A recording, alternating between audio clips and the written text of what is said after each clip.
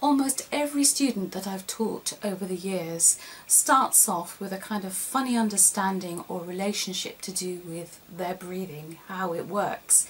And most singers feel anxious about it. And certainly, you know, I, I'm to be accounted amongst those because, you know, when you have fear and doubt in your mind about a performance or a song that poses a few specific problems or challenging phrases, then of course that little fearful voice in our minds will start needling away and saying, you know, make sure you've got your breathing sorted. This is where the frustration comes in because of course we always want an instant result.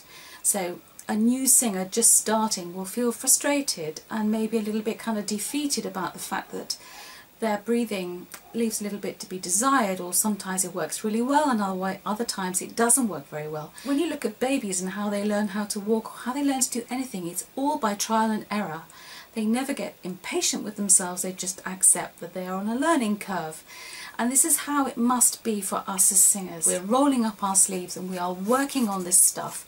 Then there's no reason to feel impatient about your ability to do this stuff really well. Today's technique tip of the day is about this reflexive diaphragmatic inhalation. That is exactly what we were talking about the other week about uh, Esther Salaman and her, her the quote I used from her book about getting our energy into alignment and thinking about the moment that you take the breath in and the intention to sing all happens as one gesture.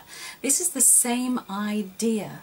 You know, so I'm saying invite the air into the lowest and widest part of the lungs.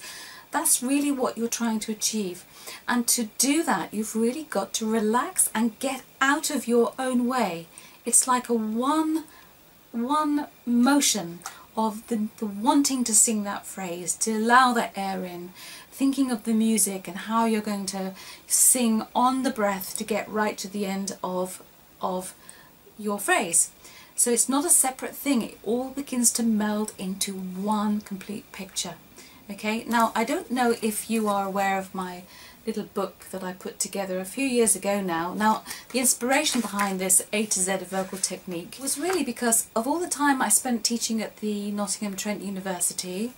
I would see, I don't know how many students, sometimes up to 20 students in a day, and I would find that, that they were all quite vocally capable, but as a warm-up I would always, always, always have to go back to the basics, these basic vocal technique tips, of which, you know, the five that I always go on about. But you know what? The more I look into this issue, the more I realise that those five basic exercises, those five basic concepts are so important for you to really get to understand. You're going to come on leaps and bounds if you can really, truly, you know, give up some time to thinking only about those things. I thought, you know what, I'm always going over the same points, so why not try to make the A to Z of vocal technique. Now, basically it's very simple.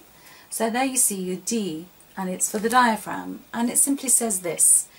D, diaphragm, the key to breath, inspiration. So think about that alignment of your energy, allowing the air in as you're going to sing as one thing, the inspired way to take on the breath, to allow the air in. Your intention is to sing and give, all right? Now, okay, so this is all the diaphragm does. It contracts, it flattens, it lengthens and compresses, okay? So it contracts, it lengthens, uh, sorry, it widens and it compresses and then all that happens is it just goes back to normal. You have no real control over that action because it goes back to its normal way of being. Okay, that's what you've got to think. You've got to think this is a natural process and I have got to get out of the way and I think right at the bottom of the today's technique tip uh, infographic is makes perfect sense no upper torso tension. Alright, so this is what, you know, making it look easy is all about because bit down further down you're working like billio to keep all this all going and looking very natural. Just like a swan gliding along it looks so beautiful and graceful but think how hard it's working underneath the water. And you know you've just you know you've just got to think about these things. So a very simple technique Tuesday tip with mountains of information behind it Okay, and the more you can kind of apply your logic to these technique tips, the more uh, you you will benefit vocally.